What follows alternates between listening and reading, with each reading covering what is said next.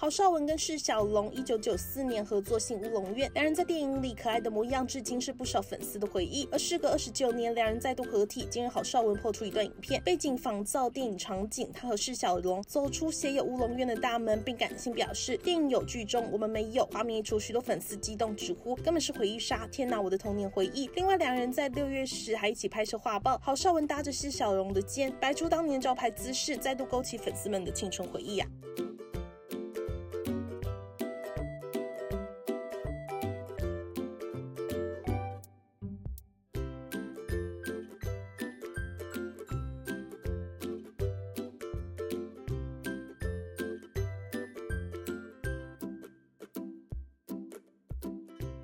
you.